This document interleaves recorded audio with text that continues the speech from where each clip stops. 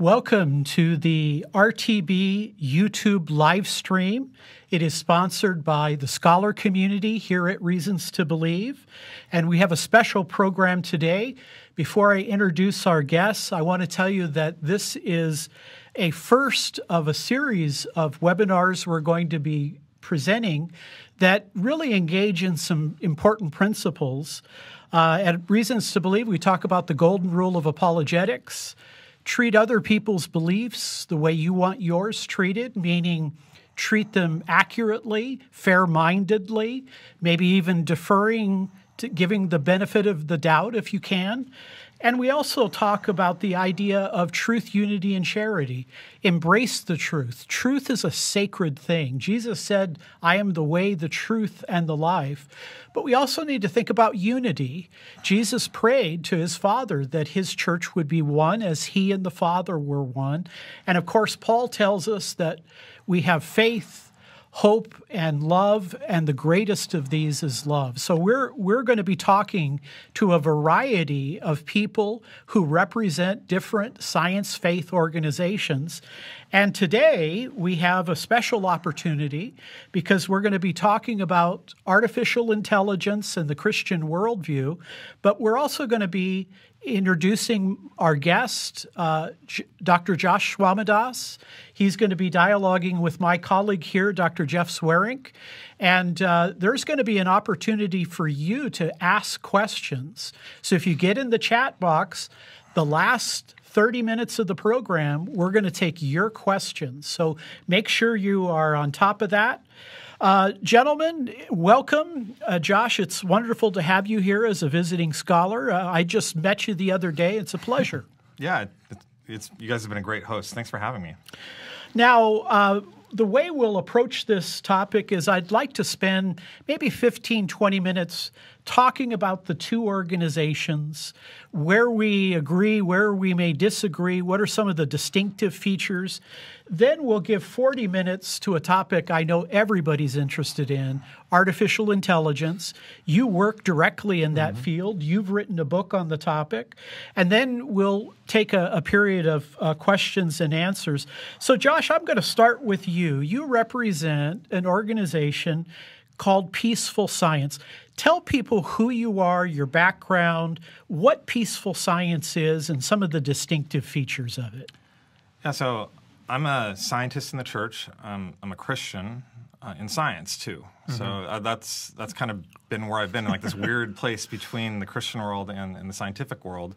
I'm a professor at Washington University in St. Louis.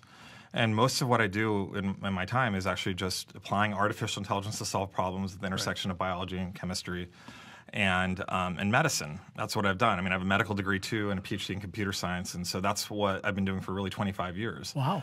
Um, but then about um, about eight years ago, I kind of ended up getting sucked into the origins conversation, uh, which is a really contentious uh, debate um, and conversation, as you know about it. It had been part of my personal um, kind of uh, you know journey in terms of being you know starting out being raised as a young Earth creationist, moving to more old Earth creationism, and then really coming to see some validity in evolutionary science too, but still really keeping a lot of the you know the theological commitments that mm-hmm. old Earth creationists have um, during that time. So that, so.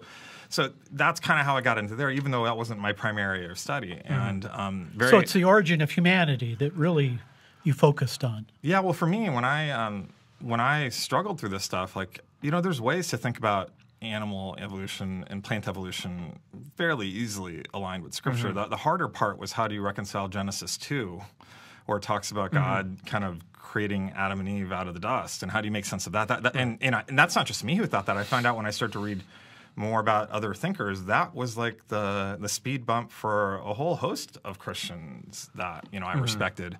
And, and like, if not for the issue of human evolution, it probably wouldn't be as difficult. So, so that's where I was starting to spend a lot of time thinking about that personally, and then just finding out how important that was for seekers, and then really realizing, hey, um, this is a place that was really a place of pain that's really become a place of confidence, and it's probably starting to become a place that I'm going to be serving the mm-hmm. church mm-hmm. um, out of this. And so that's that's um, how I got in, involved there. But then the strangest thing happened. It was surprising to me that I found out some of the people most supportive of my work uh, were atheists. Hmm. Really? Atheist biologists, yeah. Um, people like Why Nathan so? Lents. Why so? Well, I think that they, um, well, I think I'd been told that scientists were very anti-Christian. I found out that wasn't exactly what was going on. Is that they felt it was more that they felt really attacked by Christians, uh, and they didn't understand where they were coming from, especially biologists. And you know, this is kind of like in the post um, Dover trial era too. Like, I mean, and and and and when they encountered me, they, they found out, hey, this is a person who's actually taking the time to engage us and listen. He understands and actually sees a lot of validity in where we're coming from. And he's explaining this in a way that, on the one hand, is really upfront. He's being truthful that he is really a Christian too, mm-hmm. and that he believes that Jesus rose from the dead. Right. And also he's he's being truthful to um, those uh, those Christians over there and talking to them about why he affirms evolution and how he's thinking about that, and that can actually do a lot of good. So, you know, even Nathan Lents. Um, and, and a couple other secular scientists, it wasn't just him, uh, you know, endorsed my book. Right. Okay. That's I don't know of really any other book written by Christians about Adam and Eve that got endorsed by atheists. And what really struck me is that these are people that are made in the image of God, that were becoming very good friends, that were taking professional risks to, po- to support my career. Yeah, wow. And I was thinking, man, there's no organization in Origins, there's no camp that includes them too. Oh, interesting. Okay. And so that was really uh, one of the primary reasons why I, you know, I kind of formed, you know, Peaceful Science, uh, which was really meant to be not oriented about a particular position in the origins debate. I mean, I'm a Christian. I'm very public about that. But Peaceful Science itself is um, you could see it either secular or ecumenical very broadly. We work with Muslims, we work with Jews, we work with you know um, atheists. We'll work with Hindus if they want to talk with us too. And it's a place where um, you know people um, like these allies that were atheist scientists could come be a part of what we're doing there as like full equals, not kind of as like Yeah. secondary people. Gotcha. And I found out that, that they are real. Um, I mean, there's just a lot of space for common ground, and that, that that's really kind of what that grew out of. And so there's a lot of good things that came out of that. Uh, one is, you know, we found language to explain, um, you know, what our purpose and mission and values are. That, that non Christians were getting excited about, and was completely aligned with where we, I was as a Christian. As people or as peaceful science? Well, as peaceful science. As peaceful science, Yeah, okay. but it's it's what I'm personally aligned with as Okay. a Christian. But then atheists could look at that and say, I'm really aligned with that too. Okay. and so, like, um, like I said, we're not oriented around any particular position on origins. Mm-hmm. Um, there are people that we want to include that even are, you know, you know, questioning evolution. That's not the point. It's Mm-hmm. not like you have to agree with us on that. But rather, uh, one of the things that we do is we, we say we want to really focus on questions Mm-hmm. rather than answers, and uh, and really uh, and really go after the grand question, which is, you know, what does it mean to be human? Okay. So that's what we're caring about. That's why uh, we're doing stuff in human origins because it brings us to that question of what it means to be human. Yeah. And that's why also we care about um, artificial intelligence too, right? Because I think the the the reasons why uh, the conversation on AI is so interesting right now is that it's causing us to think about and rethink and think more deeply about this question of what it means to be human. Agreed. Now, Jeff, you're an astrophysicist. R- Tell us about reasons to believe in light of maybe what Josh has shared.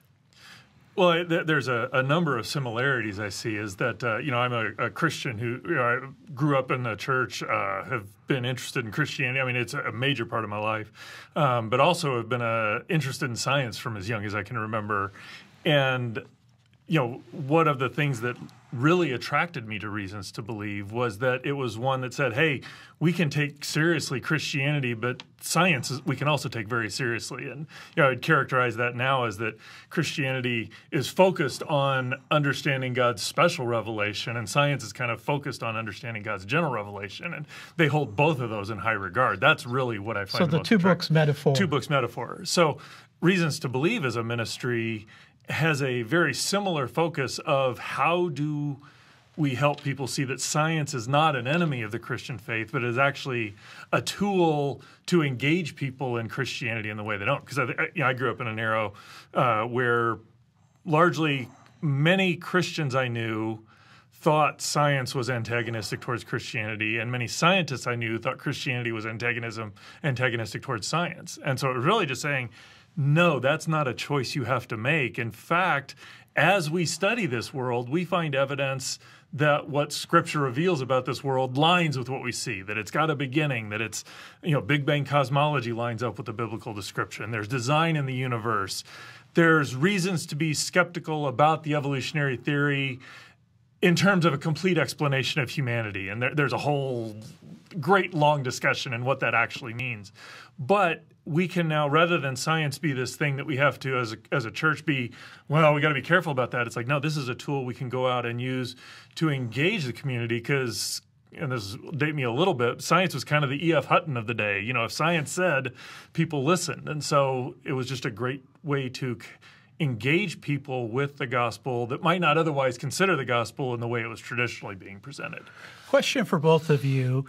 We're going to be talking about artificial intelligence in light of the Christian worldview.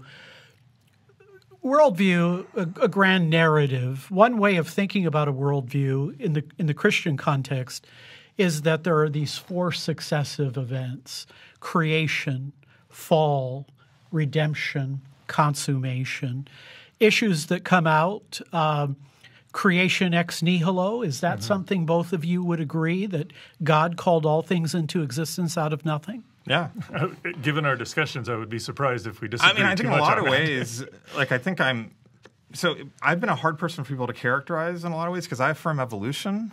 I, I see no problem with biological human evolution, but I hold, you know, a theological view that's far more similar to reasons to believe, frankly, mm-hmm. than you know BioLogos, and so that that's like a weird thing how that happened. Yeah. Could I ask a question about that? Because I've I've noticed in the roughly two decades I've done been engaged in apologetic work, it seems like there are some people when they come from a young Earth creationist to an old Earth creationist view, how they look at Scripture changes pretty dramatically. Was that something that characterized you or not? Well, yes and no. So I'd say the majority of people, kind of like in that, you know, progressive Christianity or evolutionary creationist crowd, they have. Um, they they were if they've kind of moved a lot of them are post evangelical not all but some of them are mm-hmm. and and part of that is kind of having experience with like the fundamentalist side okay. of of the evangelical church um, if that makes any sense and uh, and really reacting to that by mm-hmm. kind of moving to um, you know taking the Bible less literally, more right, myth- okay. mythologically, and kind of, and, and, many of them even like exiting the mm-hmm. e- evangelicalism and going down more like the mainline or progressive path. Okay, that was it was very different for me. for me, the reason why I left Young Earth Creationism is because I found out that like probably the biggest thing for me is I found out that they had misrepresented to me what the historical positions of the church were. That's exactly why I asked the question because that's that's my experience as well. It wasn't like, ooh, I had to look at it differently. It's like I didn't get the whole picture of what Christianity yeah. had said. And so, the, and to be clear, this isn't all young Earth Christianists. There yeah. are some young Earth Christianists that are that are, um, you know, they're not they're not the prominent ones. they're not the ones that you typically hear that that are not that are approaching it in a more evangelical versus a fundamentalist approach. But there's a lot that um, that they're claiming that the church has always been young earth creationists, and then you know the only reason we're changing now is because all of this atheist science. That's just not true. Right. Exactly. It, yeah. it's, it's not true, and and it's just like a history lesson. It's like just factual stuff. It's not about opinion. It has to mm-hmm. do with like what actually is in history and what are the things. I mean, what's the what's the pattern of how the church has engaged with ideas from science? Um, and what are the, how we thought mm-hmm. are the mm-hmm. things that are important and the things that are not, and are we trying to find ourselves to be continuous to that? And mm-hmm. once I realized that young Earth creationism was not the approach that was most continuous mm-hmm. with historical Christianity, I, w- I was gone. So, so for me, like um, you know, a person kind of taking the more common path to affirming evolution, they're doing that often because they're just kind of walking further away from historical Christianity. Mm-hmm. Let, For me, it was historical Christianity I felt that rescued me from young earth Christianism. Very good. Let's move to that second event an end time and space fall. Mm-hmm. So Adam and Eve rebel against God. Uh, to, to, to whatever extent we understand it, all of humanity uh, is corrupted morally and those kinds of things. Is there an agreement here that there was a real in time and space fall by the first humans? Absolutely. I think okay. that's a lot of what we're going to have. Uh, the challenges of artificial intelligence are directly related to that Yes, fall. is. It's the will we use the tool well? But Now, w- what about the origin of those human beings? Is it a de novo creation? Is it a evolutionary creation position? Well, I'd say that we should be open to the idea that they were chosen from a larger population, but historical Christianity has always held that they were de novo created, and there's no, I haven't heard any good reason to move away from that. So I think that we we can affirm de novo creation. There's no reason not to.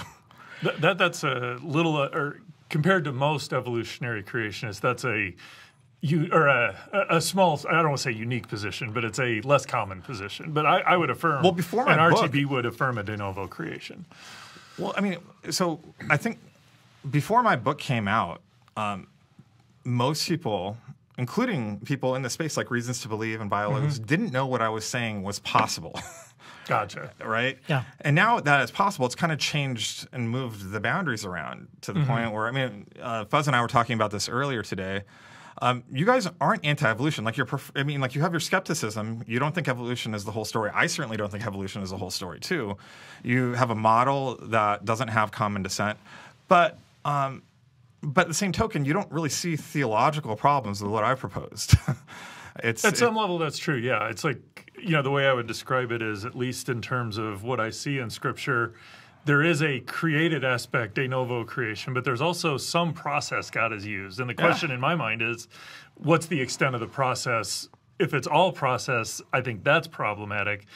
But there's clearly some de novo part. So Yeah, I, I, I, I think this Sorry, is actually really exciting though too, because I think several old Earth creationists have, I think, over the last few years, um, in response, in large part to my work, but also Bill Craig's work, I think they've really done something very wise that's going to have a huge impact in the long run of really expanding the tent of what old Earth creationism is. Hmm, interesting. And to the point where the definitions that are being used, it's more about whether or not you affirm historical Adam and Eve Right. and a historical fall than whether or not you affirm or reject evolution. Like that's kind of like a secondary, tertiary thing. Like Interesting, It's yeah. more about kind of are you aligned with the, this part of mere Christianity, believing Yeah. there's a historical Right. fall? So we've got creation ex nihilo. We've talked about historical Adam and Eve, a real end time and space fall. Now, how about redemption? Jesus Christ, the only Savior of mankind, trusting in His death reconciles you to God. Well, yeah, Absolutely. of course. And, Okay. and not only that, God made himself to known to all people, uh, you know, by raising this man Jesus from the dead bodily. Re- life, death, resurrection of Yes. Jesus Christ. Okay, I mean that's that's a lot of common ground. Biblical inerrancy. yeah, we both affirm that. Yeah. Okay. And RTB is, is explicit about that in its in its statement of belief. Yeah, we'd have a lot of discussion about that too. Where um, You guys are way too nice to each other. Well, it's it's funny because it's there's a remarkable amount we agree on, which considering you come from an evolutionary creation position, that's Well, often untip. I, I, yes, I, I'll give you the. I'm hard to often- label, I'll grant that, but I, I, I, wouldn't say evolutionary creationist. But go Fair, ahead. fair point. It's the amount of agreement is much larger than normal in those two camps. I will say that. So I think, like historically, it's just that if people who affirmed evolution really felt that science really pushed them to different theological positions, yeah, and I, I, I just that has I just don't think that that's true. Right. And I think that it's not science pushing them there; it's other things, and I, th- I think and we're in the same spot. I think that's an important position to make. It's that you know, and as I became, I was a young Earth creationist, became an old Earth creationist. It wasn't changing my theological views at all. I mean, I still there was nothing about inerrancy, the authority of Scripture. That was all the same. It was just, oh, I was not told what Christianity had already said, and so I I think that's. I think that has implications for how we do our evangelism as well. So, Let's then move to this very provocative topic of artificial intelligence. People are very interested in it. They want to know what it is. Is it good? Is it bad? Uh, Josh, you work uh, as a primary area of your occupation in the field of artificial intelligence. Why don't you tell us?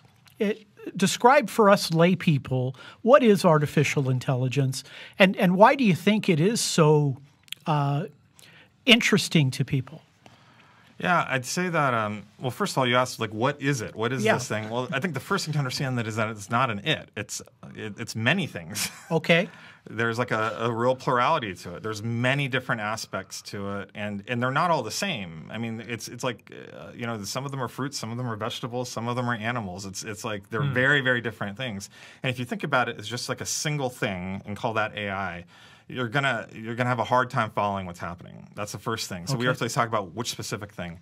But what is it that binds all those together? We could talk about that. All of these very diverse things. And the, historically, it's been basically uh, things and tricks and strategies and examples where we've been able to get computers to do things that um, are usually con- kind of been confined to human intelligence. Okay. So even just getting a computer program to be able to play chess is a type of AI in Yeah. an important way, right? Um, and uh, there's other types of AI. There's there's a whole range of different types and approaches, but there's a particular type that's based on neural networks, which is creating. Um, it's kind of inspired by how the human brain works.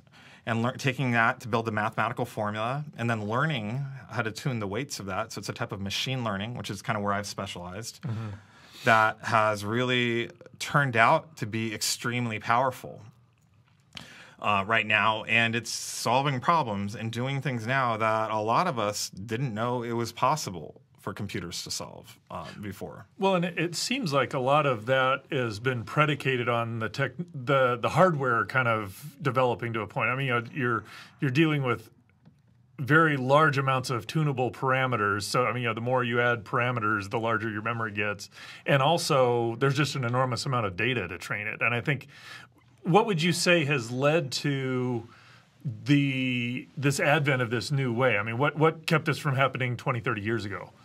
Yeah, well, I'd say that, well, 20, 30 years ago, it was really early on. I mean, I think that, that it's not just, some people kind of will tell the story, it's just because we have more GPUs now, that, or like computers that we're able to do this. Yeah. I don't think that that's true. I think Okay. that um, that's p- part of it, but, um, but I think a, uh, but there's been like several theoretical advances too, where you know if you take like a pretty um, if you took the neural networks that people are using in the 80s, they couldn't do what the ones that we're using are now. The ones we're using now are a lot more complicated in their structure and it's much more precisely tuned, and because we figured out a whole uh, range of things, um, and you know I can I can sit down and kind of show you the key papers and step through all of them to uh, where they're basically making the structure of these equations a lot more um, powerful and ability to kind of work more efficiently and to be able to identify, um, you know, uh, really efficiently identify important patterns in the data. And so that that's that so that that's been a part of it too, and it's all been and. I'd say another thing that's made it possible, it wasn't beyond just merely the hardware, is that uh, most of this was being done in academia or exclusively in academia with, in the 80s, but then mainly in academia in the early part of the 2000s. But in the mid um, 2010s, um, really major tech companies started to invest big time in it and putting open source stuff out there. Um, like Google published TensorFlow, Facebook published PyTorch. There, I mean, and and and now you have like you know serious resources being invested in making Okay. this stuff work in a way that was still kind of paired with this open source academic effort. And I think that's No, what that kind of really laid the yeah. foundation. So now it's this technology is really powerful, but amazingly, no one actually owns. It's it's really in all of these different companies. Yeah, that that was part of the discussion we were having earlier today. That kind of you know it, it caught my mind is that I think one of the concerns I have about AI, especially kind of the way it's played out, is it seems like there's a few companies that have it, and it seems to be the investment to get in seemed large, and it you know the idea that it's actually not that way. That there's going to be lots of people who could get into it, kind of takes a- or removes one of my concerns that it's going to be used as this tool that can be politically one side or the other could control things. It's just the the field doesn't seem like it's going to play out that way because nobody really owns the technology at this point. Yeah, I mean, and right now, I mean, they're all incentivized. Like we have like Microsoft, mm-hmm. Google, and OpenAI, uh, and there's more too. You know, there's Right. Facebook is involved in this. They're all have like competing programs because they know that there's a lot of money in this right now. So that's Right. actually really good. It's really good. you know, for society, that type of competition, because Yeah. it, it isn't going to be something that's owned by one company in the long run. Right. Now, deep philosophical question is this really an intelligence source? That is, is it sentient? I mean, I listen to some of these dolls and they talk. Uh, is this is this technology mimicking human thinking, or is it actually real intelligent thinking? So that's a great question, and we have to start making some more precise distinctions. So let's try and do that. So uh, there's a lot of things that we've kind of conflated together that I think it's, that's really interesting about what AI is doing. It's kind of teasing out and showing that these are maybe distinct things. So um, first of all, what do we mean by intelligence? Right? There's many ways to differently think about that, and uh, we've generally thought that if it's a general intelligence, then it's going to have a mind. That's kind of like a conflation that people put together. But I'd say that actually what we see in things like ChatGPT, which is one of the big large language models that people have been playing with, I think we're seeing a general intelligence that is not sentient So, so doesn't just- have a mind, yeah. right? And so that's surprising. So, so it's a general intelligence, but I don't mean general intel- intelligence as sentience. Just Mm-hmm. that it's not um, a specific AI tuned to a particular Right, task. yeah. It is. It really understands a large body of human knowledge, and it has basically solved, I would say, the the natural language problem to be able to to communicate. And this is a Mm-hmm. big surprise because a lot of a lot of philosophers thought you needed to have a mind in order to be able to master language. Mm-hmm. But now we're finding out that maybe you don't have to have a mind to Well, that- master language. That that seems to follow out of a number of AI accomplishments, and the one specifically that I would think of is, you know, kind of the thought was, oh, if we could get an AI that would play chess as well as humans, then you'd have true general or you know true intelligence there, and you know that happened in 1996. And promptly they dismantled the computer the next day. I mean, it, you know, it's it's it accomplished the purpose, but it wasn't human intelligence. It was it was an accomplishment and clearly something remarkable, but it was this that that I would argue was a much narrow focused task that it did the task, but it didn't do what humans do, if you will. And I, I think that's interesting. Well, to uh, what you're saying about these is that what we language kind of had that same thing. It's like we thought a mind would require for language, and it and it kind of isn't. It's you can do language without a mind. Yeah, so this is a little. We, uh, once again, I want to make some distinctions here. So you say it can't do what humans could do, but we should specify what is a specific thing that it can't do because it could do something. It could do chess, right? No, that's fair. Yeah. so that's something that Better humans could than do. me, by the I- I way. think Yeah, and also that, that happened fairly mind. early in the '60s, I think, or maybe even the '50s. Like the very first chess programs came out. So that that Well, where it could so beat it was the like a grandmasters is what grandmaster, yeah. about, But but you know, but the th- the point is that that was like a very specific sort of thing. Right. It could solve chess, but it couldn't do backgammon. Right. It couldn't do poker. It couldn't do anything um, other than just chess. That's why I Mm-hmm. Got dismantled because there's only so many times you need to build a computer to beat Kasparov, right? Right. Um, well, kind of once. Yeah, exactly. what's what's different about ChatGPT is that it was it- that it's not trained for really any particular task, and you can throw a whole range of tasks, even tasks that you invent, uh, and it's the first time it's ever been asked to do that, and it'll do things that are pretty reasonable.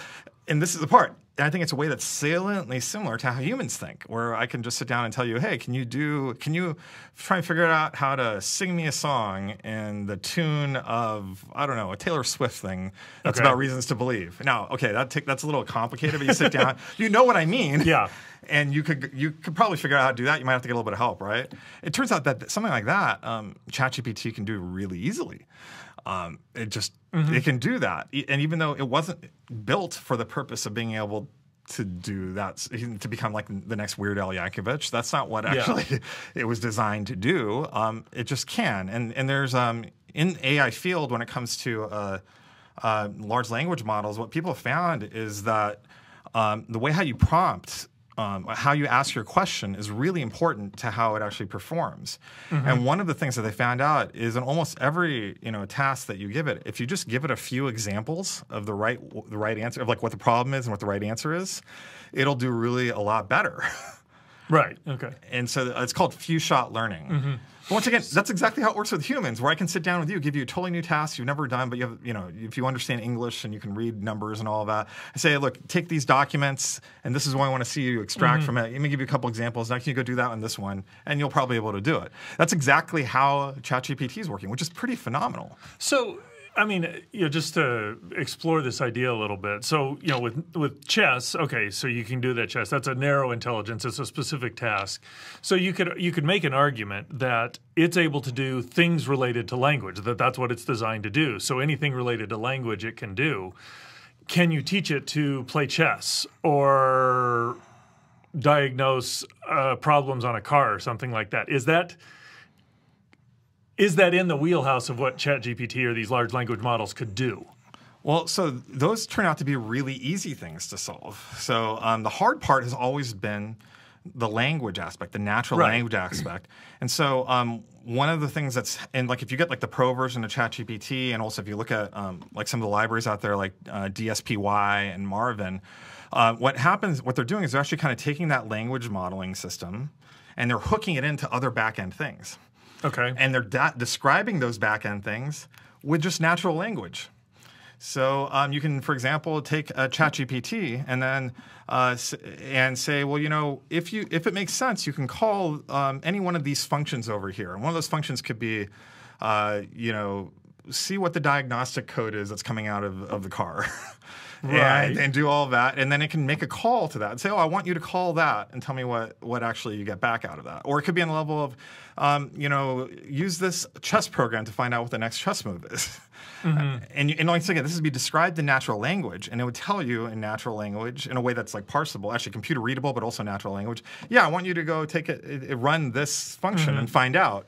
And so then it ends up becoming like a hybrid system. So it's really easy now to make systems like this that have really high um, function in specific tasks, well, so but, but that, it's steered. By, it's being steered by natural language. no, it, and what, that seems to corroborate what I'm saying here is at some level that it. I mean, not to minimize that doing natural language is really hard. I- You know, it's, it's an impressive accomplishment. I, no way diminishing that.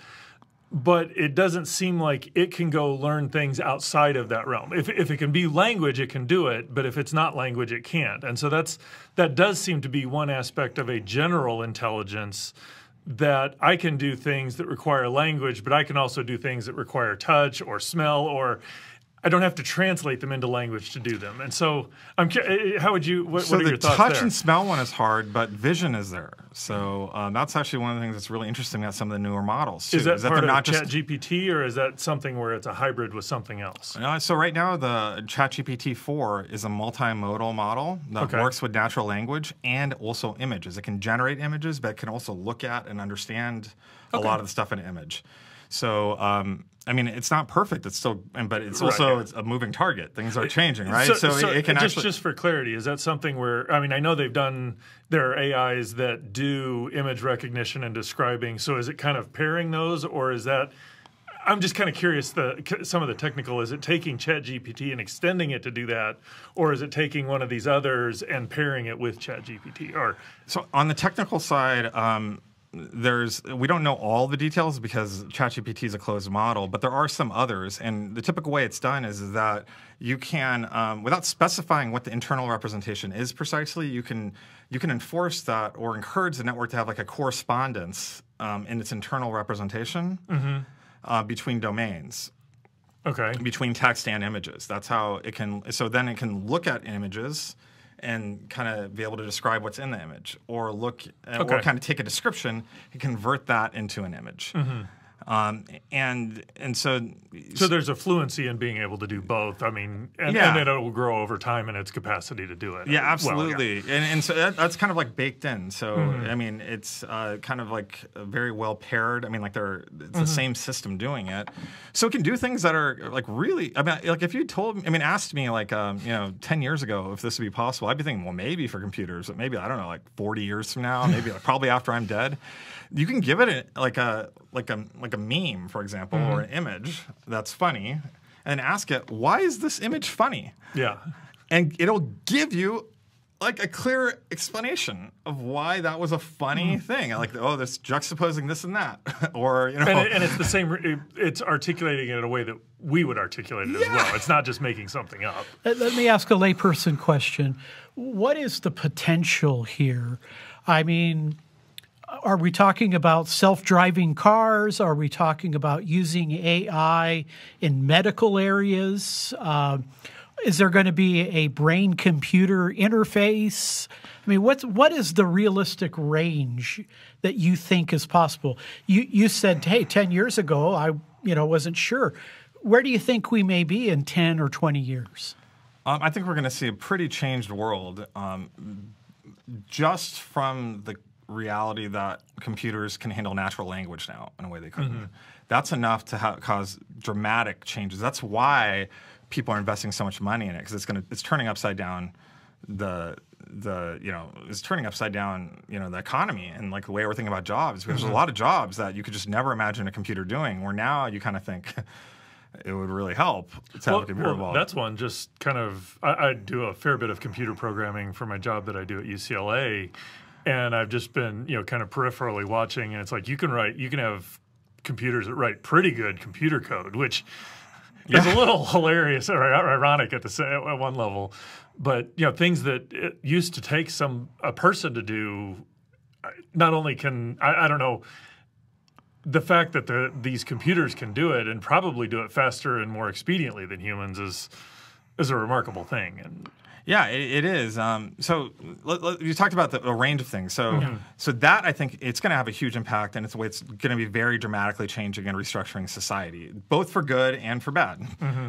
Um, I think. Um, think about self-driving cars. That's been more of a specific intelligence. Um, I think what we found is that kind of what I, I mean, this is something that I would say that I kind of predicted that um, we'll see what happens. I mean, maybe someday we'll get self-driving cars, but I think kind of getting 80% there is a lot easier than getting all the way 100% there, um, especially when you're dealing with liability and, and, like the human life component on it. It turns out as you get more and more um, if uh, advanced in your ability to to drive a car, that makes the driver less and less engaged.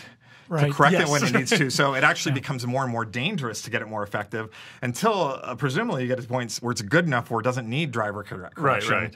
But you know that, that now you can see the problem where this is yeah. really hard to navigate, mm-hmm. and and you can see the same problem in medicine. Um, but uh, like so, medicine is a place where it is going to and it is being used right now, and it is going to be used more. I mean, one of my colleagues um, who I actually did my PhD with at UCI is now at Stanford, who's doing um, work with ChatGPT in medicine, mm-hmm. and he took uh, he took ChatGPT and he asked it second year medical questions, like on the, like like that are kind of the first step of the USMLE boards. I mean, these are hard questions. These are questions that require you to understand, you know, four or 5 mm-hmm. uh, disparate facts that are not actually in the question itself. You have to be able to connect through them, and and then kind of give a reason to answer um, mm-hmm. about why you chose what you chose and, and why it's correct.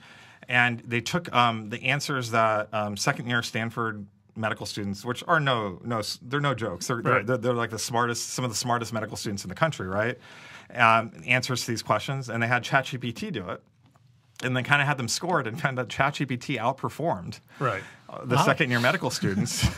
And so, um, one of the ways it's being used now is that there's um, several products in development that are like near market or even at market, where you could actually um, have like a phone there that your your uh, doctor lays down when you have, he has a conversation with you. It mm-hmm. listens to the conversation it has with with you, and it has access to your medical record. And based on those two things, kind of pulls together a draft note to go into right. your record. Mm. Yeah, that the doctor will then kind of review and, and put in. So it's going to have an impact. Will get rid of a doctor? I, I don't think that's what's going to happen. but yeah. it might make uh, it so doctors can see a lot more patients and have a lot yeah. more impact. Now, what about uh, what about the negative side? I mean, uh, a lot of people have some very thoughtful people have raised questions about how this could potentially be used in the military. Would there be concerns about who controls it? Mm-hmm. Speak to that issue if you would. Well, if I if I could just even before we move, I, I think okay. that's a great great avenue. But even before we get to there, just on what we've been talking about, you know, the the moment you've got self driving cars, I think one of the things that we forget about is that as we develop technology, we can use it as a tool, but we also need to pay attention to how it forms us. You know, yeah. you mentioned the better the cars get at driving, the less the driver pays attention. Now, there's other things that go along with paying attention that, you know, there's a whole slew of things. You know, uh, you do get into a crash, you know, de- dealing with a person who caused a problem is much different than dealing with an AI that caused a problem against me. But we tend, I mean, as I think as humans, we tend to be lazy, and so the better the AIs get, there's there's a risk of us becoming, you know, of it of it allowing us to form us to become lazier or more complacent or whatever. Uh, I'm curious how you what, what do you see as how do we deal with that well as Christians?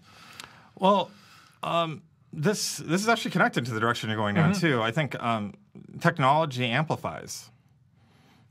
And Yeah. this isn't the first new technology we faced. And I think there's a common pattern. It amplifies. It amplifies the good and it amplifies the bad. And we're in the image of God, but we're also fallen. And uh, so we can be certain that AI is going to amplify our ability to do good and it's going to amplify our ability to do evil. Right. It, that's what that's what technology does. Um, so that that's that's what I think is going to happen. And so you can kind of think about how to mitigate that, and we have to think about how to handle it wisely and maybe try and reduce it. But in the end, we still know that's going to be the case because technology isn't usually something you can fully control. You talked about you know who's going to control this. Well, the reality is no one's going to control this because it's kind of like trying to police like you know the use of calculus. it's it's something that's like far more Yeah, ubiquitous. I do not want the police in my house stopping me doing calculus. I do it every night. Well, I mean, yeah, you get, you get the But I get the point, It's yeah. not actually. It's not like something you can localize that way. It's Right. not Yeah. like nuclear weapons, where you can like trace like you know. you know radioactive signatures and, and you, Right. can, you have to find and you can find like this you know like the expertise it's not like that like you know even even high school students can do this stuff now i mean Right. so it's not like it's, it, it's so everyone's going to be able to do it we can't control it that's how um, really transformative technology tends to be Mm-hmm. and that's that's what this is and so, um, so we're going to have to think through about that. Now, now here's a, Yeah. give you an analogy though. We can still learn from other technologies. Like, uh, you know, um, it was before I entered school, but you know, maybe the generation before me is a generation in which calculators entered the general circulation, Mm-hmm. Right. right? And there's a big debate about that because people worry what that would do to elementary school kids in their education because they, all of them were learning reading, writing, and arithmetic, right? Yeah. And um, now arithmetic was this trivial thing that you could just put into a calculator and do. And so there's debates about whether or not we should be even teaching arithmetic still. And um, and then also should we allow students to actually use a calculator or not? Right. And when do we allow them to do it? And what we settled on, for the most part, there are exceptions, but I think the right move was to say, yeah, actually, students probably do need to keep on learning arithmetic. Um, and there's a whole bunch of reasons that have to do with their formation, because Right, education is about formation, even more than about skills development. And so it's part of their formation to do that. And and because calculators interfere with that formation, there's periods in their education, like you know, my my eight year old second grader is learning, you know, how to do, you know, long multiplication for the first time. He's not going to be able to use a calculator at all, except for to maybe check his work, right? Right. Yeah. and that's that's uh, that's what we kind of learned, right? Mm-hmm. And and we've figured that out. We navigated to the point. It's not really that controversial. Calculators Yes. are not that controversial because we navigated that. So what we're dealing with now is. Um, a whole bunch of things that a calculator couldn't do that now ChatGPT can. So a lot of stuff. Yeah. Uh, where you know, like the sorts of essays that I had to do in high school, or take-home essays to kind of write um, like a like a five-page essay or whatever. ChatGPT can do that. Right. And so now what do we do? It's this exact same problem. It's interfering with formation. Like no one's asking high school students to write essays because they might win the Pulitzer Prize or something. We're doing that because we're wanting to learn how to think better, how to compose their thoughts and communicate it better. Right, yeah. And and ChatGPT is kind of like a calculator in arithmetic. It interferes with your ability to kind of learn that. And so we're having to think about how to use this well. And it has to be more. Uh, and so, like, if you have kids, and if you even think about yourself, we have to think about more than how does it get our get our tasks done quicker. We also have to think about how does it form us in the Right. best way. Well, and that's where you know your, the description of being formed. I just kind of recognize it's like that's what as a church we should the, inside the church we should be incredibly concerned or not concerned, thoughtful about that because you know we are made a new creation, but it we are forming our character to align with that of Christ. It's not easy. It's there's some things that may work out easily when you do it, but there's f- character formation issues that I've been wrestling with for 40 years and I'm still working on. And so I, I just I think I've, I, I would I want to encourage, and I'm I found it a little disconcerting that I don't find a lot of this discussion in the church of how do we form character in there, and I think it would be an encouragement. It's like I would love to see as a society we kind of adopt a Christian view of this. That's kind of my my pie in the world dream, if you will. But in the church, we we ought to be talking about these sorts of things. How do we use this technology? But also, how do we, if we're going to use the technology, there were character formation that went into How do we make sure we're forming character as well? Question about that in terms of our formation. People like C.S. Lewis, Tolkien, they were at times quite critical of technology. C.S. Lewis didn't think you should use a typewriter. He thought it interfered with your capacity to to write and to hear in your own mind what you were writing. But this this question I think does come to bear. I mean, I know people that touch their cell phone 200, 300 times a day. I spend hours on this laptop. Is there does it rob my humanity to some degree? Uh, what I know there are going to be real advantages, but will it change human beings in the future? Well, you're basically a cyborg now. You're, you're kind of married to some computers, right? No, I'm kidding. But um, yeah, it, it, does alter um, the human experience in mm-hmm. pretty foundational, important ways that um, that are hard to escape. I mean, in a lot of ways, it's actually a very good metaphor for sin technology. Um, sin, I mean, technology isn't actually intrinsically evil. I mean, mm-hmm. we can use it either way, but it has uh, this sort of thing where once technology is kind of released, it's very hard to kind of put it back in Pandora's box. Right and uh, once it becomes part of your life, it's hard to imagine a life without it. Like, how mm-hmm. do you mm-hmm. imagine? I mean, you could do it. Like, we could all like kind of forswear our phones and, and electricity and all that sort of stuff. We could. I mean, in principle, we know it's possible. We also know it's impossible. We're not going to do that. and so that's really changed in fundamental ways what it means right. to be human. Now, I think um, there's a couple things in the Christian faith that help with that. One of that is that I think um, our faith, in some fundamental ways, is a type of transhumanist sort of faith in the sense that we don't really believe that our current form is our final form. Mm-hmm that that, yeah. that that what we see as human right now is not actually the final best expression of what it means to be human. Uh, that that's going to happen in, in, you know in heaven, right. and it's going to be something that's going to be continuous with where we are, but also it's going to be a break from this too. Yeah. And so that means that we should actually be able to kind of enter these sorts of change with a bit more open mindedness and mm-hmm. to, to see that and see the good to celebrate that, and also see the bad to find ways to mitigate it. Right. And so, um, so I think that that that transhumanist component of Christianity. Now, to be clear, it's not transhumanism by technology in Christianity. Yeah. yeah. Um, so it's not that type of secular transhumanism that doesn't really work with Christianity. Mm-hmm. I'm talking about just this idea that, that you know we're going to be transformed when, yeah, when, we, right. come, when we come back. Well, and I, and I think a, a critical component of that, that especially as a scientist and many of the scientists, is like just as a general rule, we're not the best at relationships. Um, you know, that's that's a very blanket statement, but compared to other, but one of the things that I've found and you know, I just look I, at it. I think you're pretty good at relationships, Jeff. you you? Can, you can thank my mom for that because she's. I mean, I I look at a lot of my tendencies, and I would be very anti-relational, and she worked really hard to make sure I've got good relational skills. But you know, one of the things I think you know, in one of our earlier conversations we were having about being made in God's image, is God is inherently relational, and that's one of the questions I'm I'm learning to ask about these technologies: is mm. do am I using this to enhance my relationships, or is the way I'm using this a detriment to my relationships? So, yes, I can call my mom and FaceTime and do stuff over the phone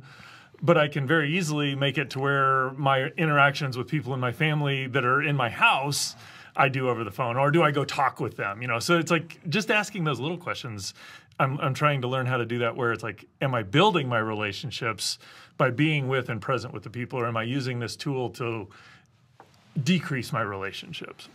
Yeah, so I think that that's a helpful point. I mean, I think we're, we're also parents. I think mm-hmm. one of the issues we have to think through is like, what is the right time, for example, to introduce our kids to social media? Right. Um, or to, to let them have a phone. Mm-hmm. I mean, and so I mean, I, am honestly like my family. We're pretty biased towards having it later in life. You know, like I don't, I don't, think our kids are going to have cell phones in junior high, and, and, and, you know, I mean, like like a smartphone where they can go on the Right. internet, like maybe maybe like a like an emergency phone or something. Yeah. I mean, I, I, don't know. I mean, maybe it'll be different, but but when I kind of think about where our set point is, we're, we're actually not thinking about having them have access uh, to them much later than I think is typical right now. So I think Well, that, ju- just from a practical measure, it gives them access to stuff that many times I know most middle schoolers can't handle, and so they're, they're just from a trying to limit the immediate access to some of that sort of stuff. But the flip side of that is, uh, yeah, I mean, I, I agree with you. It's like as I thought more and more about it, especially with my later kids, it's like I've had them given it to them, or I provided a phone later. But I'm also recognizing I can't just say, well, we're going to avoid it as long as possible. It's like I have to be preparing them to have the maturity to use it well. As, Yeah, yeah. Or else, when they do get it outside, or when they move, they move out of my house, they could be in for a very rude awakening and some big problems if I haven't prepared them well for it. Now, now, here's a, a worldview question. Um, w- when we think about this, um, some people might look at artificial intelligence and say, see, w- w- human beings can create an artificial intelligence, and maybe that supports my, my secular view. But, but my question would be it seems to me we've recruited some of the brightest, best thinkers in the world to put us in a position where we can potentially create an artificial intelligence. That sounds like creation to me. I mean, so the thing about it is that it's not creation ex nihilo. It's No. like out of st- other stuff, mm-hmm. right? so and Well, you know and in we're, some we're sense, modeling it after what we already see works, if you will. I mean, we're modeling a lot of our AI stuff after the way the human body works and the human mind works at It's, some it's level. inspired in some way. It's, Inspired, it, it's yeah. like a mix of engineering. I mean, it, it, it's complicated. Yeah. Um, but yeah, it, it is. uh, You know, the originally is inspired by you know, uh, you know, the human brain. But um, wh- what was the question again? You lost me with that. Sorry. this, this issue, I mean, I've often said um, the scientific community is fascinating to me. They recruit very bright people, give them highly specialized training, but so many of them come to the conclusion well, there's no intelligence behind the universe. Well, in this context, we're looking at some kind of creation of artificial intelligence, but it's coming already from a very intelligent source. Well, yeah, but I mean, when it comes to the universe, I mean, I obviously I believe that God created everything, including the universe, and I think he's I think he's intelligent. So in that guess, I believe in, and, and I mean, he had forethought, if that's what you mean by it. So I guess I believe in intelligent design on that level. but there's also um, pretty significant disanalogies between um, the creation of the universe and the creation of AI. I mean you know, one is being created by God, one's mm-hmm. being created by us. That's a pretty big disanalogy. Mm-hmm. Another big disanalogy is that um, that we've actually observed directly the process, like with our own two eyes. I mean, I've been part of that process. There's a mm-hmm. lot of people have been a part of the process of actually saying that these are the people. We give you the names. There's like this paper trail of all the people that were involved in actually building this and doing that. We don't have anything comparable to that. in in in the process that God used to create the universe, right? I mean, the closest thing is kind of like inspired text, but that's not that's not really the same thing. So these are big disanalogies, I would say, and that's um, and that that's that's part of why I think there ends up being a, a different sort of epistemological um, answer that's made by Now, people. do you think the image of God gives us the capacity to, you know, create machines that extend our reach, so to speak? Would would you say that fits with the image of God in a Christian context? Yeah, I mean, certainly no other animals we can really imagine creating mm-hmm. creating, you know, an AI, right? Is that human exceptionalism? I mean, human exceptionalism is pretty uh, is kind of like the dominant view in science now. So Wow. I mean, like that's not uh, that's not that surprising. Um, I mean, there's going to be debates about whether or not it includes Neanderthals and not, but but humans uh, we're, we're able to do stuff that other people can't. I mean, that's kind of undeniable. Um, but it turns out that while um, you know chimpanzees are probably persons, um, you know historically Christians would even say they probably had souls, but they're not human souls. Um, Yeah. th- they're they have um, but and they're and you know we can't actually. I mean, they're not at the same level as us, right? Mm-hmm. There's actually a pretty big gap between their language abilities and ours. What we found out, and this is a very surprising thing in a lot of ways, that even though there's no animals that really have language that matches ours, it turns out that we can make machines that have language that surpasses ours. Yeah. That's surprising. Yeah. I mean, Yeah, that, no, that I mean. I would even say that you can find examples of philosophers, mainly Christian, but also non-Christians, that thought that that would be impossible unless the machine was sentient, and and, and you'd either come down like, well, machines can't ever be Right. sentient. But I mean, it turns out that we we didn't understand how language works.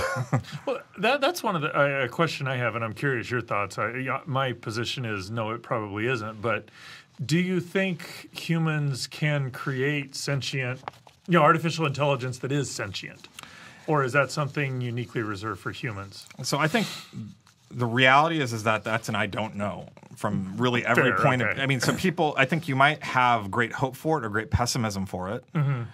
but Scripture doesn't ever speak to this directly. Um, and even if you're uh, a Christian who thinks that um, that humans can't create another mind um, other than through reproduction, Mm-hmm. I mean that's happening by by Scripture says by human decision, right? That's sort of not our intelligence. That's using a machine that's already built. But Well, people being made, right? But yeah, so it's like maybe with that exception somehow, it's disanalogous. Yeah, it fair comes to this. point. Fair point. That that we can't do. Let's say you believe that. Um, well, who's to say that God can't um, um, in spirit or put the, in His image or mind within a machine that we've created? Interesting. Yeah, no, God- God these are can't- the fascinating theological questions that arise out of this discussion. And you know, there's So- nothing in Scripture that says that uh, that um, that God would never do that. um, you know, Scripture is not even really telling us that humans are uniquely in the image of God. Many Christians have thought angels are in the image of God, and maybe if there's you know intelligent aliens, aliens, they're in the image of God too. So, could uh, any of our machines be something that God endows with the image of God? Well, you know, I don't think we can know. We and we know that God does surprising things. right. Okay, now in a couple minutes, I want to encourage those listening. You can ask questions of our two scholars here about artificial intelligence, so you need to get into the chat. I have one more question I'd like you to address. What about the military issues? I mean, I remember one of the original Star Trek episodes where you had these two groups of beings where uh, they were at war with each other. Will there come a day where there'll be wars between the groups of artificial intelligence? I'm not entirely sure what you mean by that, but AI is already being deployed in in warfare right now.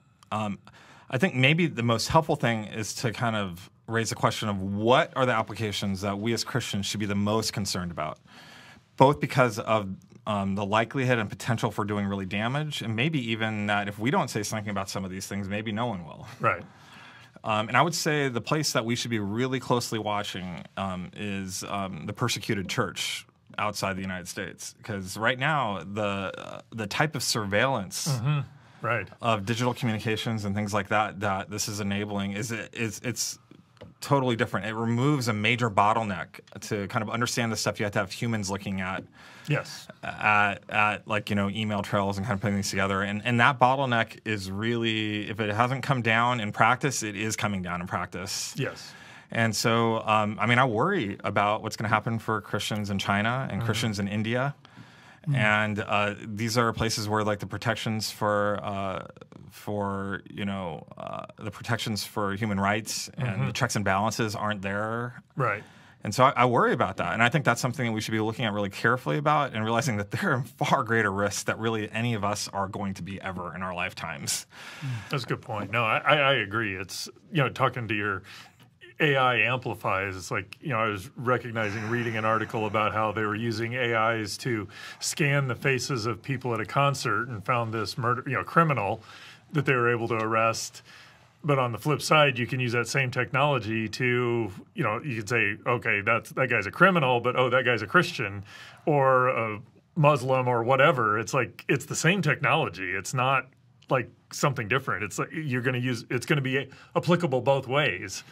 And I, I agree. The that's something we ought to really watch. So Yeah, I mean, so like right now, what's happening in the United States has really been limiting, like they're called advanced computer chips. That includes the GPUs that's really necessary to run this, and there's like strict controls about hmm. about this. That's kind of putting some limits on it in China, mm-hmm. but those things that's temporary too. I mean, that's Yeah, the- the eventually they're gonna they're gonna, gonna get go, there. yeah, so I mean, we we I mean, I don't know. Pray about that. I mean, there, there could be real upticks in persecution in the actual persecuted church, not just Right. the Christians that kind of mythologize and their own persecuted pathway. I mean, we don't Yeah, really there- face not per- much- not we don't face persecution, persecution yeah. here. we face people looking at it askance and not liking what we said, and often because of our bad behavior. yeah, So like there, there that's are people something who are different. tortured, thrown in jail. Yeah, really, truly persecuted. Yeah. We've got a couple questions that have come in on the chat, so I want to encourage you.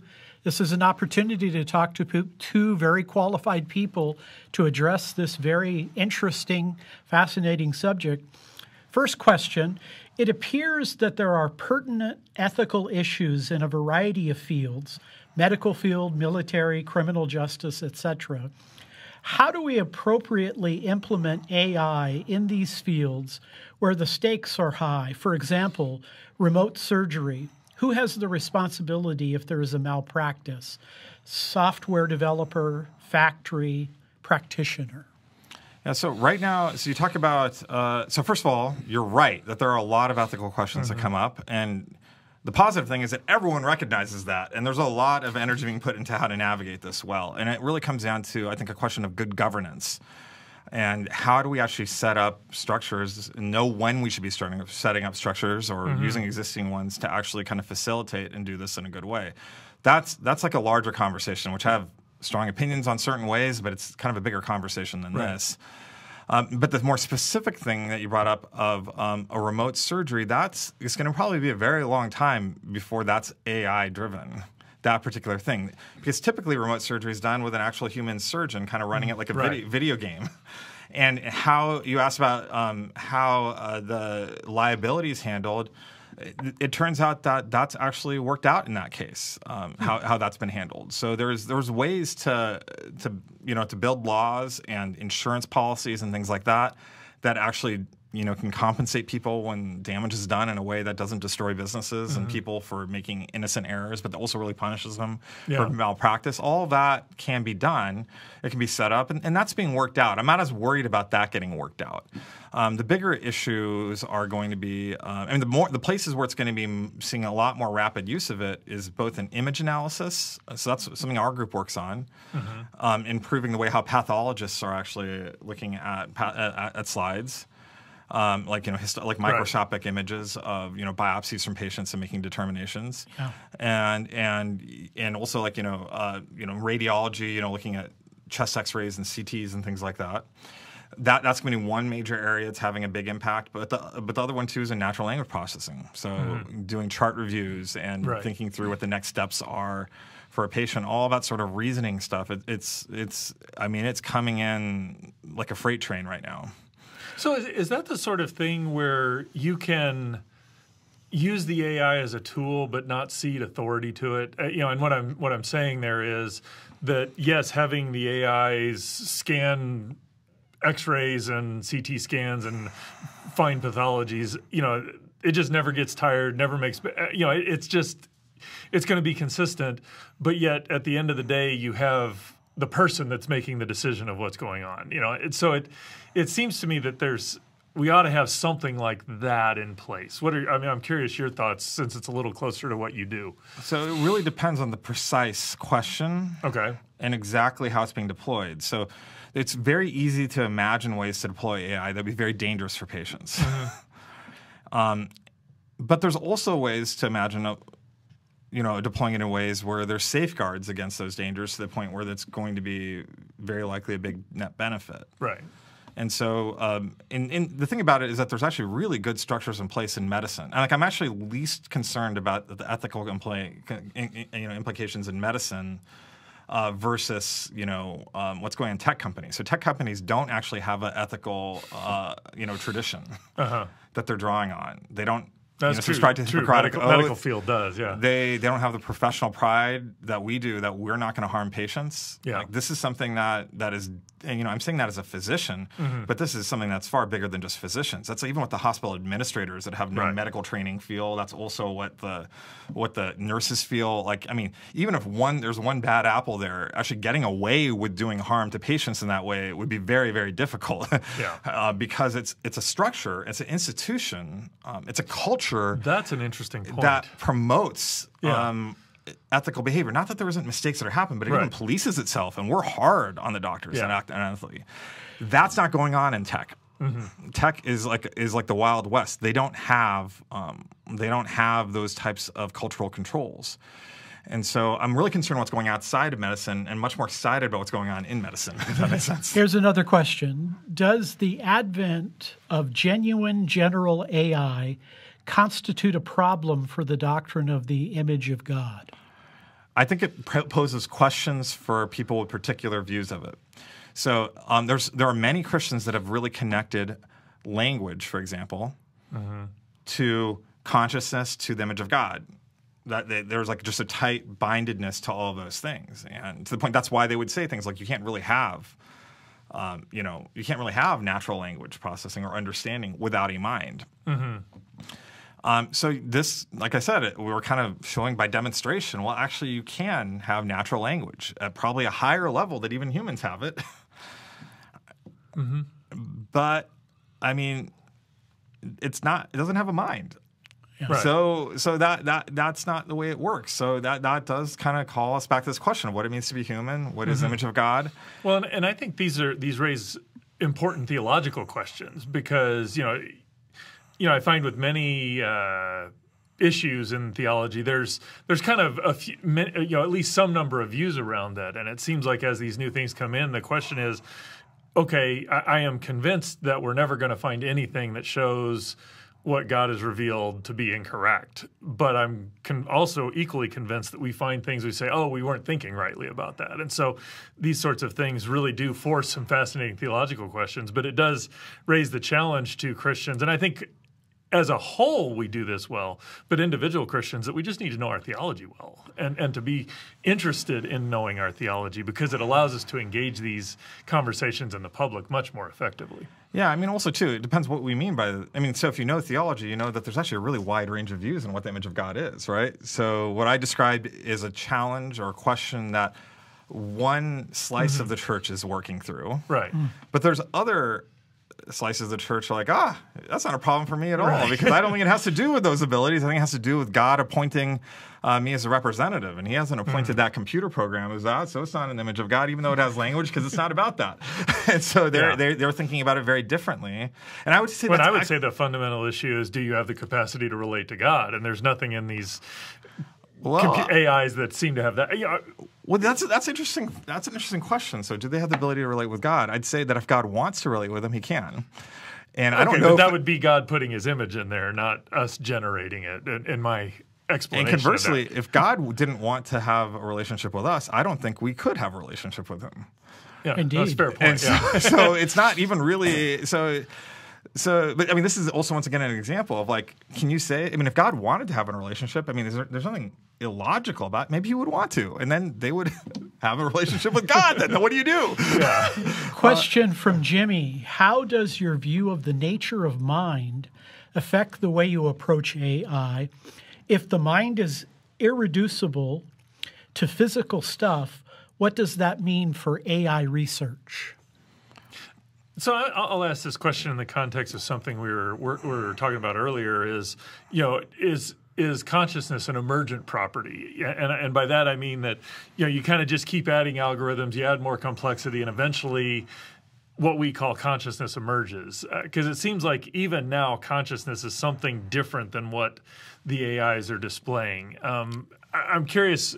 Do you think?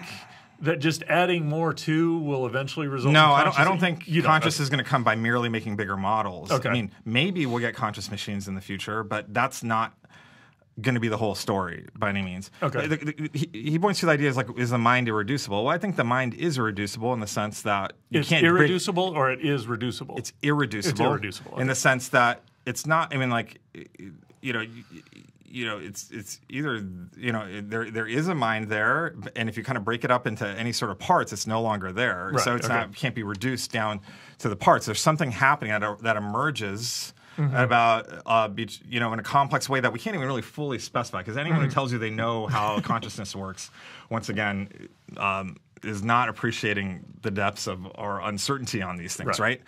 So I can I, so in that sense I agree with that. But the thing about it is that um, that in AI we're finding out. I mean, it, there's a lot of stuff that it's doing that is irreducible in that precise way. Uh, not consciousness, but a lot of things that are irreducible. A lot of the features that it can do um, are, you know, if you take away, um, you know, a few of the parts, then it, they can't do it at all. Okay. and so, um, and, and that's on several different ways of defining parts. And so it's irreducible in that sense. And so that means that we already know AI can produce um, you know, can do things, do do actions and abilities that are irreducible. Okay, so the mind may be irreducible, but there are other things that AI does that are irreducible, even if they're not the mind. So maybe So that's not the reason why it couldn't have a putting it all mind. together- yeah, okay. It, it might be you could put stuff together and eventually get a mind at some point. Yeah, in principle, but, maybe, but but, those two are not necessarily connected. So Yeah, so I think a, a better way to think about this is I think, um, I mean, there is some people who disagree, and I think they're wrong. Um, most people think they're wrong. But why is it that, why is it true that ChatGPT doesn't have a mind? And really kind of carefully thinking about that and giving a precise, coherent, and correct answer can be very helpful in this moment. Um, so, an example of one reason, which is a good way reason to say that it doesn't have a mind, I'll give you two reasons actually. One is that it doesn't have an inner dialogue. We, I mean, it's hard to actually imagine a mind without an inner dialogue. Yeah. it Yeah. doesn't have an inner dialogue. Okay. Um, the other thing too that's true is that it doesn't have a continuity of self. And so meaning, ju- just articulate what that means quickly. a continuity of self is that it kind of it, it, it has a sense of itself now, and that's continuous with something that existed in the prior moment, Oh, in the prior right, moment, in the prior moment, the prior, moment. And so, um, so I have a past and I can think about the future. That's not what yeah, these it- AIs do. So yeah, they don't have. I mean, so they're kind of being they're just like functions that are being executed on random computers across the globe, Gotcha, right? okay. And they don't have they're not embodied in a particular bounded place, and there Mm-hmm. not that sort of sort of. Um, right. Philosophers call it aboutness. You can think about things and consider Well, them. the aboutness, I wonder if it does have. I mean, I think in a lot of ways it does, um, but it doesn't have, like I said, it doesn't have the continuity of self, is what I'm saying. So I think those two things alone, or even one of those alone, is Right. probably enough for us to say it's not sentient. But here's the thing: um, I told you that AI is not a single thing, right? right? um, it's not it's not that hard to conceive of different technologies that are closely related to this that might start to kind of dismantle those objections. Well, uh, so let me ask kind of a, a related question to that because yes, I agree that ChatGPT does a, remarkable job with language. Uh, you know, I, I don't know what level, how high you could push it, whether it could produce novels of, you know, Pulitzer caliber, you know, th- that sort of writing. But it does seem at some level that. Uh, even though it's doing language, it's kind of mimicking language at some level. And I, and I don't want to make that a hard distinction because I think there's a lot of things that it does very similar to how we do language. But specifically, you know, when, I, when I'm talking, I'm not sitting there thinking of the next word. I'm thinking of a thought and what's the best way to convey it to you. And as at least in my understanding of the the the various chatbots is that they're thinking you know basically thinking what's the next word what's the next word what's the next word and so it's it's it's doing language in a way that i would say is very human but it's doing it differently Well, so it's true that it's doing it differently, but I think it's complicated because it turns out that you know humans learn language by mimicking. So are we? Are you just mimicking English to me, and human language to me? Well, yeah, you are mimicking what you learned. well I, I was but now i'm not you know and so I mean, I think what happened is you learned by mimicking, and Fair, that okay. and th- that it got kind of encoded deeply in your neural networks to the point that you know it's just kind of part of it's kind of baked into your brain right now. But that that that's that's actually not that disanalogous from how it is with ChatGPT. no and, and i think this is probably the distinction between the task and the sentience behind it, or the task and the mind behind it. It's like I, I, don't deny that. Yes, I've learned language by mimic at some level, at a very probably a, a remarkably high level. Actually, I'd say very my, similar to very how ChatGPT. But with my mind, there's something else that's going on in there as well. yeah, and, and I don't think that with the current iterations of ChatGPT, I mean, there, there's going to be analogies mm-hmm. where maybe it is doing something similar, but there's also parts that you're getting at that, which I don't really think it is. I could be wrong. I don't think that's really it is. Um, but I mean, it's complicated because like you're kind of telling me you have a thought, and that's the basis of the way you're talking about it. But how do I know that? I can't actually see that in your brain. Uh, I can't image your brain to get what those thoughts are. I'm only getting the thought from you because you're telling me that. right. You're, you're, telling me you formed the thought that that yeah. no one can see but you. So I had to take your word for it, and then you basically are trying to convey that thought. So there's no way for me to directly access the fact that you've actually kind of internally in your mind kind of created that thought. Right except for the fact that you're telling me about it, right? Well, well, but I would also rely on the fact that you, being human, largely think the same way. So I'm I'm expecting that you would say, "Yes, I think thoughts or articulate ideas," and then I say the words. Yeah, but imagine it's an alien who's talking to you. Like the only way he could know that that's how you think is because you tell it. It's not because he can actually examine your brain to find out. That, but I'm just telling you that that's the problem we're dealing with ChatGPT right. on because like you say it's not. I don't think that's how it's working. But there is actually a couple things in this actual architecture that are actually a There's little bit analogous okay, to that. Fair, point. No, and and so it yeah. becomes trickier. Um, Question yeah. here. Yeah, One more. Let's let's get through them. Paul, is there a way to ensure that AI is fair and objective, not driven by a particular ideology?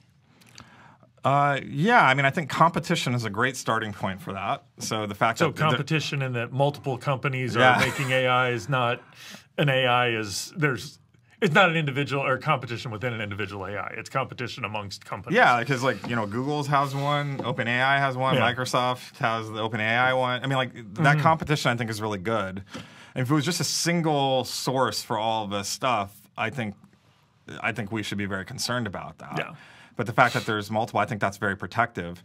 And I think uh, we ought to watch that in the future because it seems like any sort of powerful tool, powerful technology, somebody's tried to monopolize at some point in time. So I, would yeah. it wouldn't be surprised to see that in the future. Is, is Google going to solve death? No.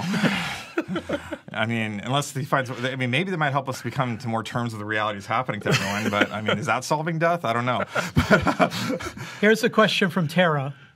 Can AI be used to replace actors and actresses in movies, television, etc.? The movie industry's union strike in 2023 was catastrophic. AI was a huge reason for the strike. Yeah, can. So there's like a can is one of those words that can mean a lot of things. Is it technically possible? Absolutely. Yeah.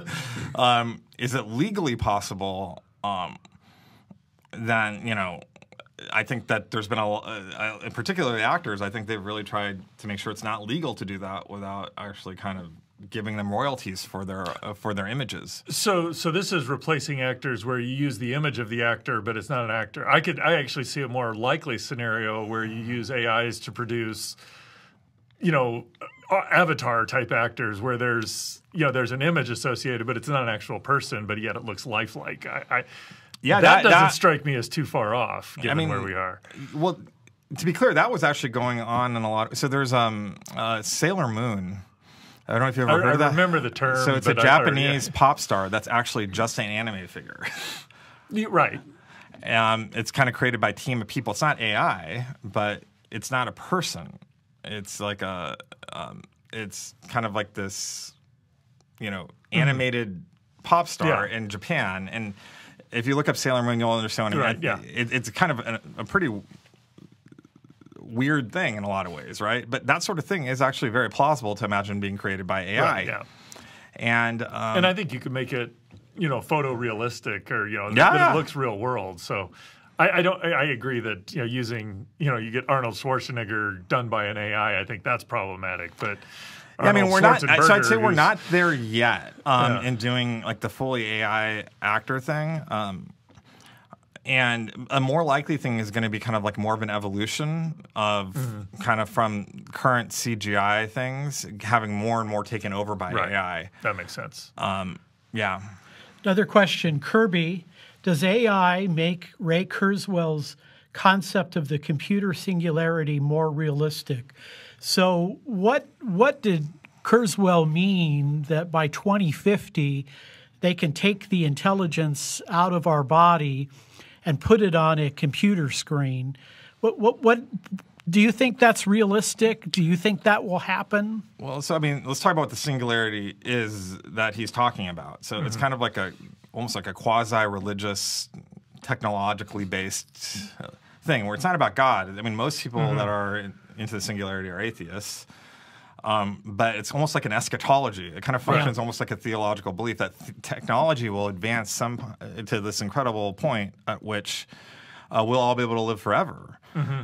Um, and, and actually, when you look at the image they have, it really is like an image of, of like heaven that they're kind of constructing. right. I mean, so that's why I'm saying it's like quasi religious. It's really they've got an eschatology, a, a hope, a focus. Yeah, and the idea is that you know technology advanced to the point where you actually can take the, our mind and kind of put it in the computer, and that's how we'll actually uh, we'll either be in robots that can you know live forever mm-hmm. and bounce between that, or or um, or you know maybe in some sort of virtual world. And you can see this in, in you know in science fiction, right? Mm-hmm. so we can't actually see it yet in real life, right? Um, does it make does AI make that idea of singularity more realistic?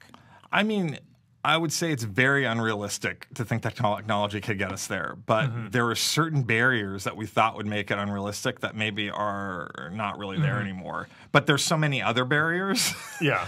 Uh, that um, it's hard to. I mean, like the key thing here is like you know I think everyone would think twice about entering if we really did make the Star Trek transporter mm-hmm. that disassembles you, kind of vaporizes you here and kind of just turns you into bits of information, sends that over a distance, and gets gets rematerialized over there.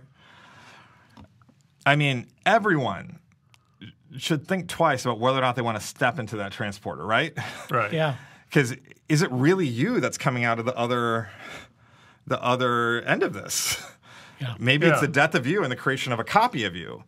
That's interesting. Yeah. And so I think really that's like one of these kind of fundamental things where I think that if you think clearly about this, it's really hard to evade that problem. Mm-hmm. Where um, really what's going on with the singularity is they, they, there's not really they've not really proposed any sort of technology that can show us how you can take mm-hmm. consciousness out of our of, of, us and put it somewhere else.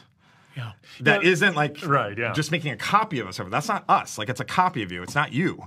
well, and, and you know, I, what I find is that there's a lot of things about our science fiction and our movies, media, whatever you want to call it, that makes this stuff seem almost expected and commonplace. I mean, you know, traveling amongst the stars. Of course, we're going to figure that out someday. And I don't know that we're ever actually going to figure it out because that's incredibly challenging just from a physics perspective. But it seems plausible. It seems like this is this falls into that class is that we're solving more and more things that seem like there are problems, and it's okay at some point in time we're going to hit it. But at the end of the day, it's an assumption that people are making that the more we do, as we continue to increase, we're going to figure out how to do that. And it may just be something that's entirely impossible to do. I, I think from a quantum mechanics perspective, I don't think you can transport people. I mean, yeah, I think there may be some fundamental physics limitations on that. Question from Timothy Does the old adage applied to computers 30 years ago garbage in, garbage out apply just as much to the present state of AI? Um, I mean, so yes and no. I mean, so a lot of AI that's true, but I'd say what's going on in large language models is different because it's certainly being fed a lot of garbage. Uh, but that doesn't mean it's necessarily garbage out. It just might know what garbage is and to avoid it. So a great example of this is like you can meet a person who never cusses and never swears, right? But it doesn't mean that they've never learned the, all those swear words and cuss words. Maybe they're able to avoid cussing and swearing because they actually learned them really well, so they know to avoid them, mm-hmm. right? So it doesn't mean they've never read it and they've never seen it in a movie theater. Just the fact that they don't actually put it out of their mouths. Does that make sense? So, so yeah. I think that you can see that happening all the time with ChatGPT, where there's stuff in the um, in the like so you'll see racist stuff in the training material, but that doesn't mean that ChatGPT will say something racist. It knows what racism is. It knows what racist is. You can tell it we want you to be like a friendly person that's not racist, and it won't tell you racist things. so um, so it so that's different than I mean that kind of shows it could be garbage in, but not necessarily garbage out. I, I think you could make an argument though that that's part of even in the training set there is training in there that allows that distinction. So I, I, don't know that it's something new and unique coming out. That, but I, I mean, I, I, I agree with your point. I think that may be part of just the training that's in there. That it's just a complex enough training that it gets masked as I can put junk in and not get junk out. Okay, we've got about five minutes left. I want to raise this important question how can we use AI in our conversation to build a bridge to the gospel? Reasons to believe, a very significant part of reasons to believe is using science as a tool to point mm-hmm. people to Christ.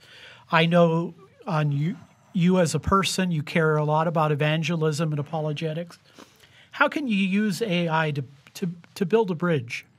Well, I mean, I think one of the really exciting things about this moment is that a lot of people are talking about AI. Mm-hmm. You know, and it's yeah. and, it, and, it's yeah. and it's a topic that's deep. It's not like, like everyone's right. talking about the Lakers, right? I mean, Lakers are great, but you know, there's a certain amount of depth you get to with that, and it's also a bit more localized. This is different. This is like a like a worldwide right, conversation yeah. that's happening. Yeah, that's bringing us to questions about the nature of the soul, mm-hmm. the nature of the mind, and all the, the image of God. And and so these are conversations that Christians should be really you know pleased to be part of and right. participate in. And mm-hmm. even though it's going to be with a lot of people who don't always agree with us, that's great. We should do that. And I think what we can be doing is really trying to find our voice uh, in a way that kind of echoes C.S. Lewis, where you know when.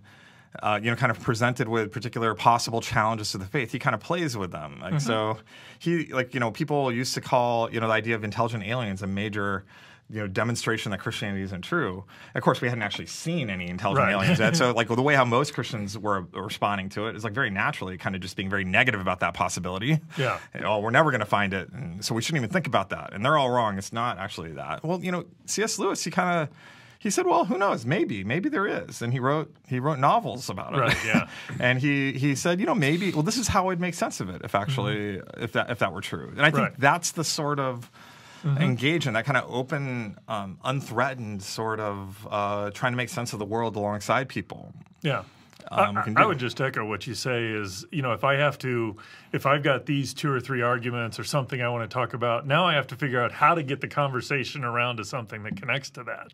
Whereas if I realize, hey, AI is just ripe with science faith connections in there, people are talking about AI. I don't have to get them interested in that. I can just join in the conversation they're already having. And what does it mean to have a soul? Are these things really human or not? I mean, they're kind of non-threatening and just real open for bringing the gospel in pretty quickly. If you, I mean, you really and I'd say that the Christian, that mere Christianity doctrine of the fall. Mm-hmm is a very salient way yes. to think about Agreed. technology. Agreed. and while you know iPhones are not in the Bible, and it doesn't talk about computers. It does talk about technology and the impact yeah. it has on society and, and, culture. Like that's like one of the dominant themes of Genesis. Right.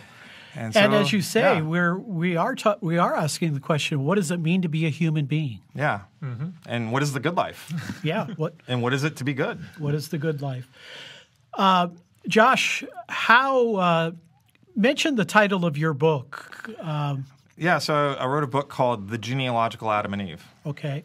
That's on. That's the human origin stuff, right? right? And and people can get that on Amazon. Yeah. What about how can people contact you at Peaceful Science? You have to go to Peaceful Science. There's a contact form. It's not that hard to find my email online too. Um, and uh, there's some stuff in the works where, where, reasons to believe in us are likely to be working. You know.